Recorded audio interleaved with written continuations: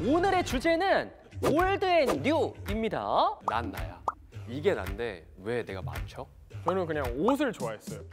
진짜 그 옛날 싸이월드 다이어리에 나오는 그대로 나온 것 같아요. 저도 이제 35이다 보니까 헐, 서른 벌써 35. 두배 더 사실.